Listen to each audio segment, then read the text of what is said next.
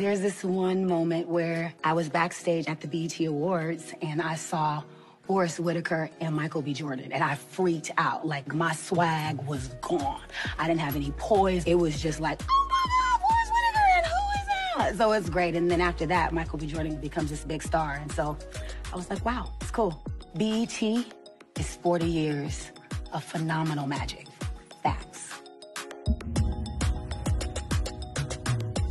Happy that we're celebrating your birthday.